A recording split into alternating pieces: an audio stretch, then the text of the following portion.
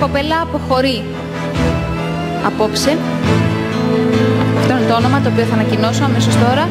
Ποιο κορίτσι θα αποχωρήσει και εδώ τελειώνει το όνειρό της για να διεκδικήσει το STEM.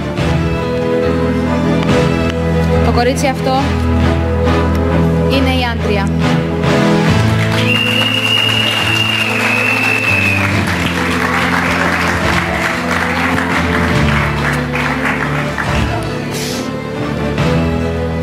Θες να μιλήσεις, θες να πεις κάτι;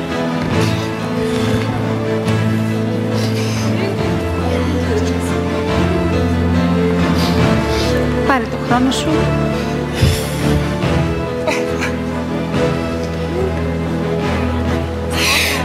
Λοιπόν, ε, θέλω να ευχαριστήσω πραγματικά την παραγωγή του Μέγκα που μου έδωσε αυτή την ευκαιρία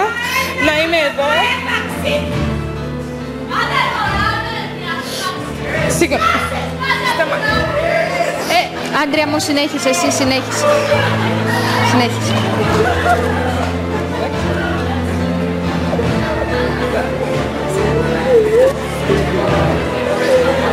Λοιπόν, ε, θέλω να ευχαριστήσω πραγματικά την παραγωγή που μου έδωσε αυτή την ευκαιρία.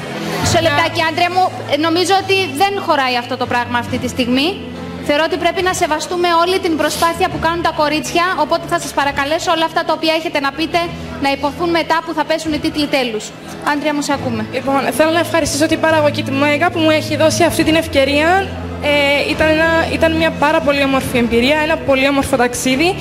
Θέλω να ευχαριστήσω πολύ τους κριτές. Ε, μέσα από τα... λα- Πλέον νιώθω ένα πολύ... Νιώθω ολοκληρωμένο μοντέλο, γιατί πραγματικά ε, από, από τα σχόλια, από τα, την κριτική που μου έδωσαν, ε, πιστεύω πως έχω βελτιωθεί.